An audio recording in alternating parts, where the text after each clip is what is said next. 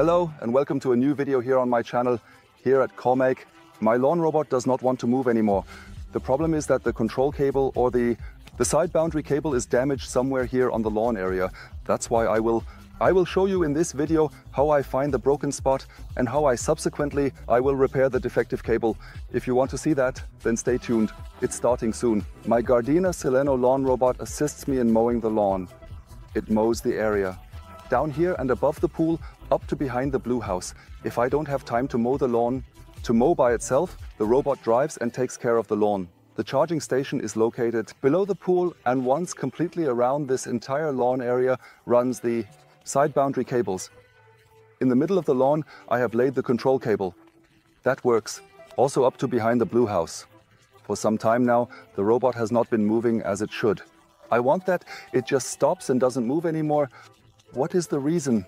The reason is quite simple. The battery is full and the robot is working, but the control cable or the boundary cable is damaged. Something is broken on the cables. I have my cables buried about 10 cm deep in the ground. Now, unfortunately, I can no longer do it so easily. Check where exactly the cable is damaged. So I need to locate the cable break at another. Finding a way, and that's exactly what I'm going to show you today. But before I start searching in the lawn, a small, simple tip on how to find out which boundary cable or control cable is damaged.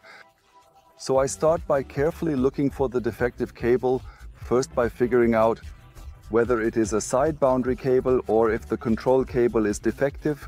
I have already cleared the charging station and moved my garage aside from the lawn robot. You can see that the green light on my Gardena charging station is on. That means that the circuit from the side boundary cables, which run around the entire lawn area, is intact, but there is still damage since the robot is not moving. I already knows that it is the control cable, but if you want to find out to determine which cable is exactly damaged, there is also a simple trick for that. I open the cover on the back of the charging station. Here you can see the cable connections. My charging station, I have the connection for the boundary cable on the right side here, and here the connection for the boundary cable on the left side.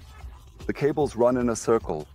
Around my lawn, the cable starts here and ends here. The cable forms a circle. The third cable here in the middle is the control cable. It starts between the two other cables and runs centrally over the lawn, there where the robot should be very, drives over it frequently. At the outermost edge of the lawn, this control cable is then connected to the side, boundary cable connected, so I have a large circle between the two boundary cables on the left and right. With the control cable in the middle, I can come from the I can create a large circle, but also simply build two small circles. For this, I remove the connection from the control cable to the right boundary cable, ensuring it is securely and properly connected in place and functioning as expected. Then I carefully and precisely plug the control cable in, making sure it is fully inserted. The right side where the boundary cable was before. Now I have a small circle which runs along the edge of my lawn. At the intersection, the control cable, it runs the cable is no longer at the edge, but carefully and precisely through the middle over the control cable. Now if I look, whether there is an error can be seen very clearly, that the display is blinking blue. In that case, I know that the error is in the left small circle. It has to be. However, I will check the right side once more for safety. For this, I will open it again. At my station, I carefully proceed to disconnect the connection from the left side. This involves ensuring that all safety protocols are followed to prevent any mishaps.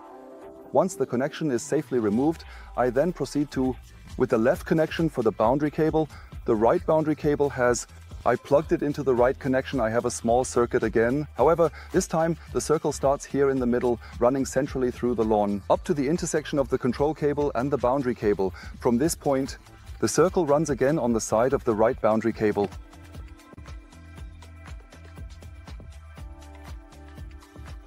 Here too the control indicator blinks blue. This means that neither of the two the signal passes through small circles. This is the 100% proof that the control cable in the middle is damaged. But now the question arises of how I find the damaged spot of the cable. The cable runs in the middle. It slowly and carefully comes out of the charging station and then gracefully and smoothly makes an arc. Then it is smoothly positioned right in the exact middle of the lawn. And runs underneath the sidewalk. From there, it continues through the middle of the upper lawn. Underpath's cable goes past Blue House somewhere. In this area, the cable of the lawn robot is damaged. My problem now is that the damage is not superficial. I do not see where the cable is defective because I buried about 10 centimeter deep in the ground. For this reason, I will be using the technique today. Take and search for the cable using a transmitter with a probe.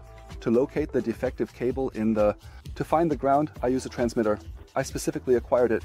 The device arrived in a send case in which all parts fit. The cable finder consists of two components.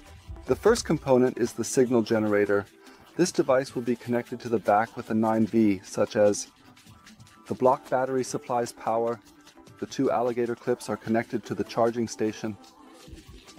A the clip, which is used for ensuring proper functionality, is connected to the defective control cable and the other serves as grounding.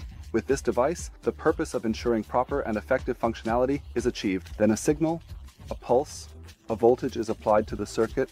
With the second device, this here with the probe at the end of the cable, I can then trace the signal.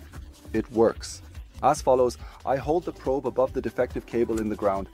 When in the lawn robot cable, when current flows, meaning voltage is present, I hear a continuous audible signal tone.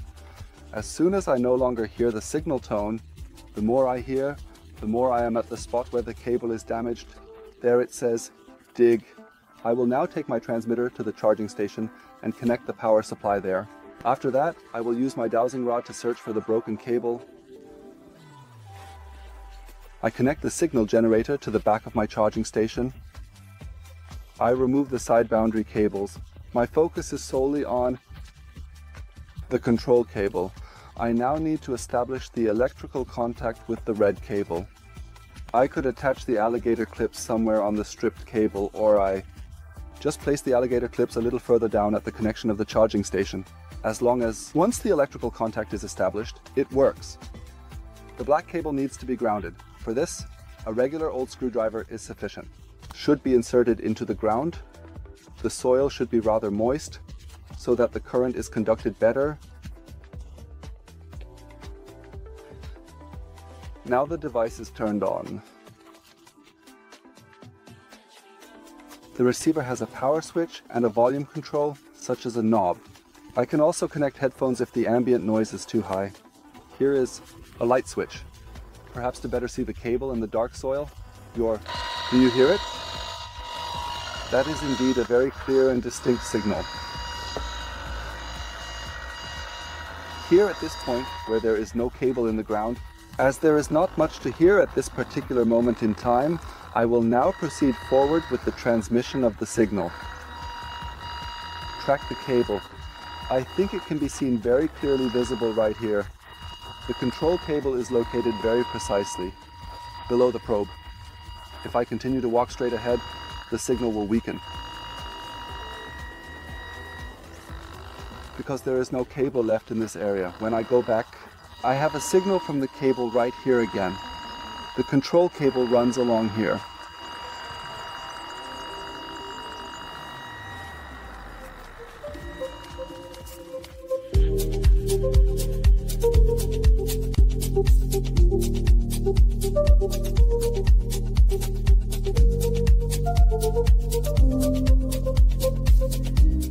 Here at the sidewalk, I can just already hear that the signal is getting weaker. It is becoming quieter. And here the signal disappears. When I move the probe across here, as I pull away, I hear nothing. But here is another signal.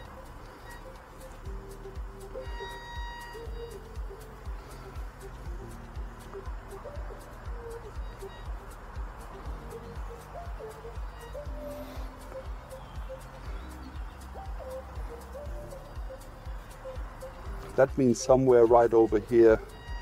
The cable damage must be exactly right here. I will mark the spot.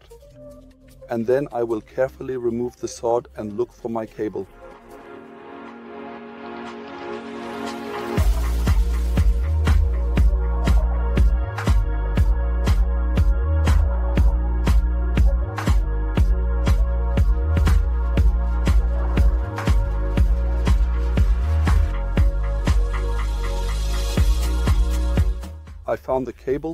And most likely the cause of the damage as well. Right next to the cable is an ant nest. The small red ants are crawling around and eat the sealing compound from the cable connectors, such as various types of sealing compounds and potentially other materials. I'll expose the cable a little more carefully.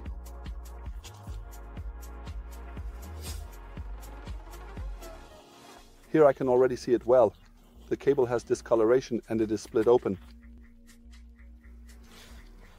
Here it is completely exposed without insulation. How can this happen? Here is the ant nest.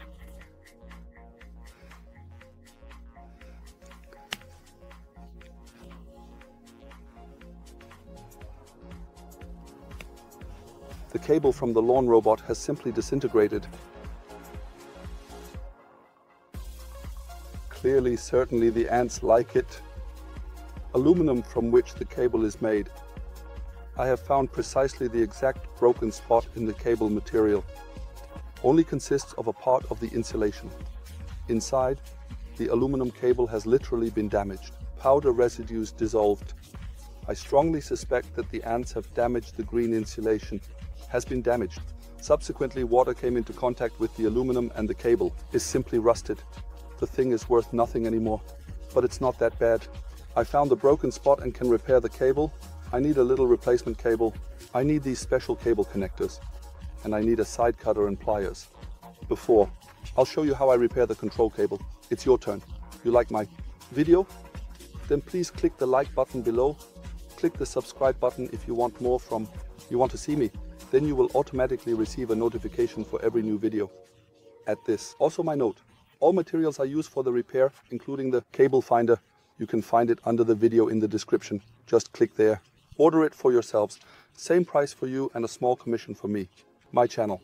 Thank you very much. And now we continue with the repair of the lawn robot cable. For the repair, I have exposed the cable up to the points where it is still in good condition. At this point, the cable is intact again. Here, I will cut it. Other side. There are still damages. I will not use this part anymore. Next to these cable connectors from 3M that I have linked for you under the video, you can of course also use a cable repairing shrink tubing. However, I find these cable connectors very practical and easy to use. I just need to simply plug the intact cable in all the way and ensure that it is completely and securely connected to the device. The green color of the cable, you can see it well. I also insert the replacement cable all the way in. Then I carefully and precisely press down the adapter with the pliers, ensuring a secure fit.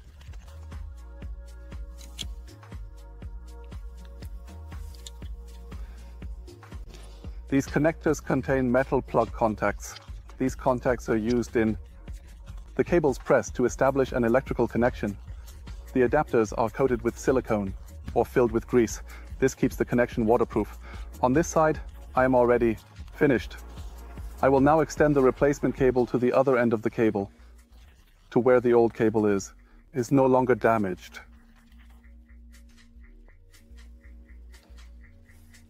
Here I install the same connector. I cut the replacement cable a little longer. In the basement, I still have a small piece of empty conduit I found that I am incorporating it. It's not much, and I also don't know if it does anything. With the same conduit, I definitely laid the cables under my walkways. I will it. Place it here in the middle where the ants are. I hope that the animals will no longer disturb the cable. Shoo away. Here I will now install the second connector.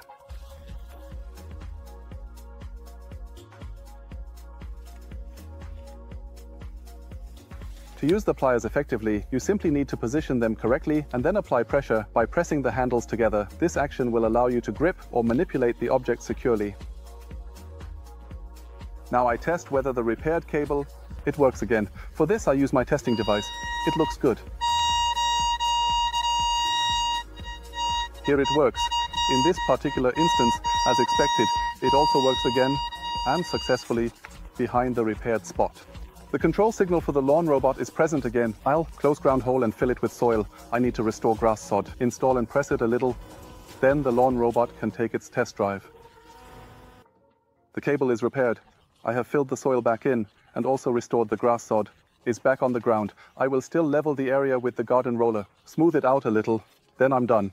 To see if everything works now or if if there are still problems with the control cable elsewhere, I will simply conduct a test using a testing device. Let the robot drive over the control cable. It should now find its way to the garage.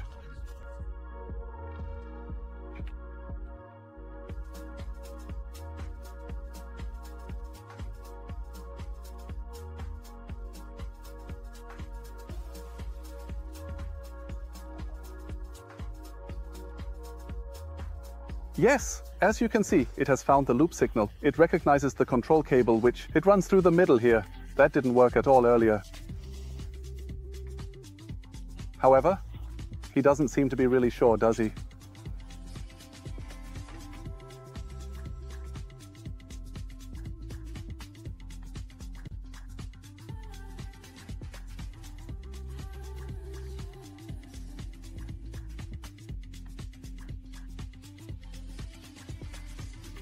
The lawn robot drives over the repaired spot without any issues.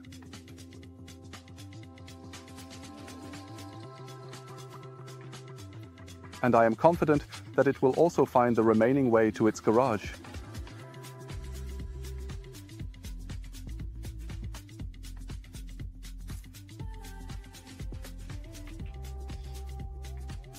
While the lawn robot is searching for its way to the garage, I would like to take this opportunity. Once again, I ask for your support. If the video has helped you, then click below on the like button. This helps me and my channel move forward. If you want more from me, if you want to see it, then click on the subscribe button so you don't miss any of the new videos.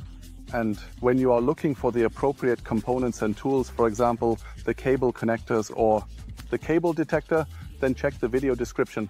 There I have provided you with everything, linked. If you want to write to me, feel free to use the comment function. I look forward to it. Any feedback and also criticisms. I too have not finished learning and look forward to any tips I can still get. I will show you how the Gardena lawn robot works. Parks in the garage and says goodbye. Take care. I'm already looking forward to the next video with you.